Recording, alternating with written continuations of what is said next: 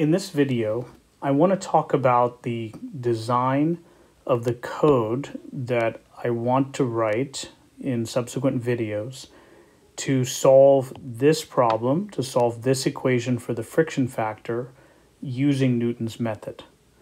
And I want to remind you first of what we have done so far. So we have written a MATLAB script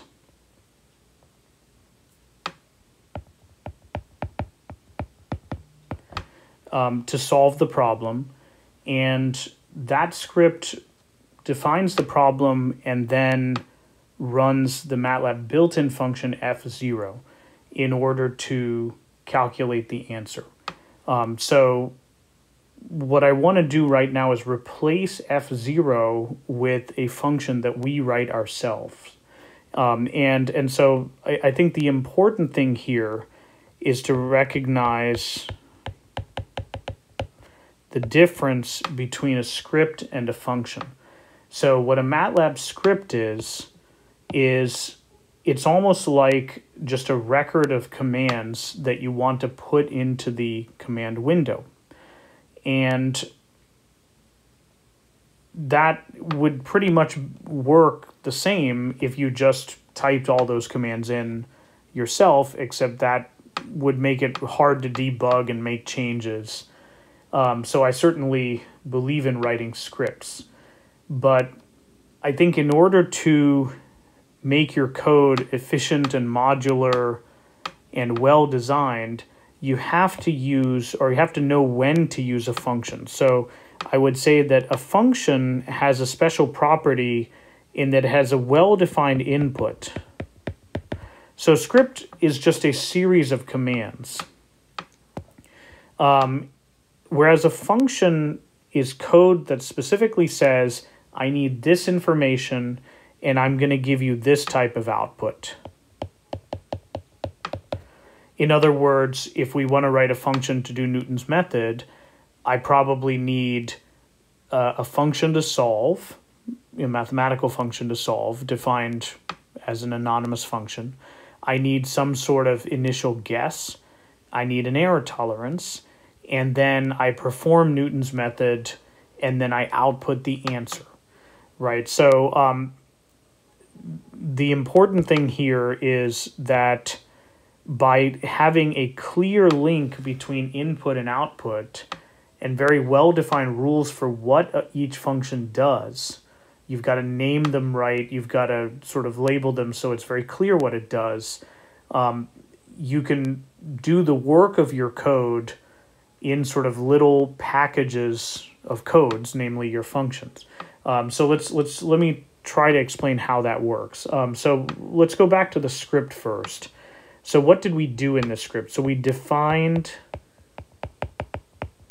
the Colebrook problem.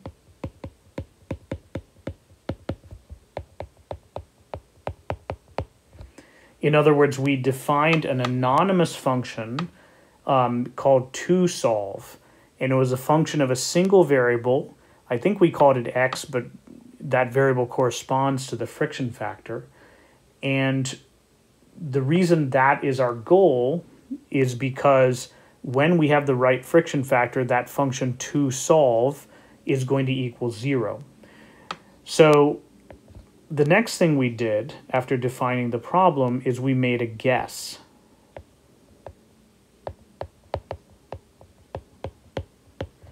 And part of what we did, so initially we made a guess using the Blasius formula, but we also visualized, right? Um, so we plotted the function to solve as a function of the friction factor so that we could read out on the plot approximately what would be a good guess.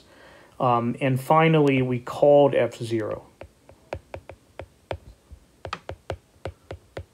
So notice that fzero is a function. It's a built-in function uh, for MATLAB. We didn't have to write it. And it's really the, the code that did the work, right? So the script defined the problem and made a nice plot, but it didn't actually calculate the solution, right? So what we are going to do right now is we are going to replace fzero with Newton's method,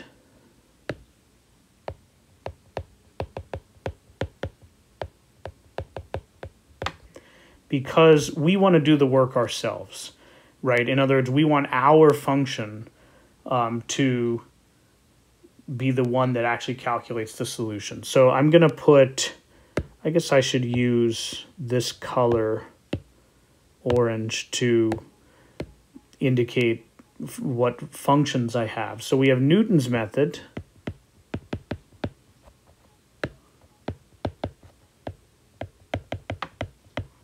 Okay, we're going to code Newton's method that is going to take as input a function to solve.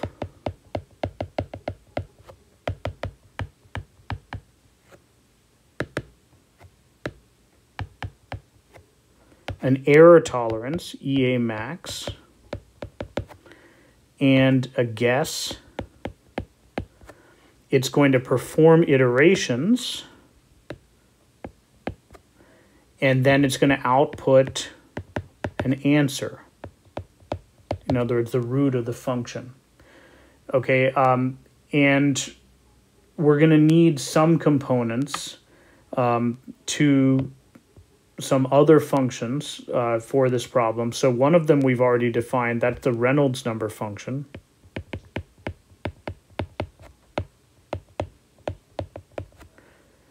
So that took the density, the velocity, the diameter, and the viscosity, and it calculated a quantity that actually came into the definition of the problem, right? So the Colebrook equation involves the Reynolds number. And um, then we're also going to write a function called approximate error.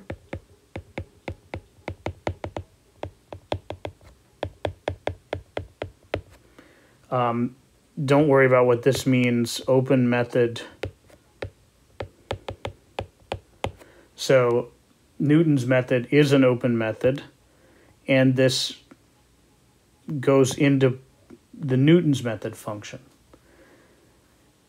So this is the function that Newton's method will call when it's deciding when to stop. Um, and there's one other thing I'm going to add, and this is the function function derivative. So you may recall that Newton's method requires knowledge of a function's derivative. So I'm going to show you how to use MATLAB's built-in uh, symbolic functionality in order to actually calculate an anonymous, or sorry, the, the first derivative for an anonymous function of one deri- uh, of one variable. So in other words, we're going to take the function we defined to correspond to the Colebrook problem, we're going to feed it into function derivative 1d, and um, in fact, we're going to feed this problem into Newton's method. And, uh, and then Newton's method is going to use function derivative 1d to calculate the derivative of that function. Um, so I'm going to um, break this into pieces. I'll probably make a separate video on how to calculate a symbolic first derivative. And, uh, and we're going to switch to the computer and actually write the program to calculate the solution to this problem ourselves.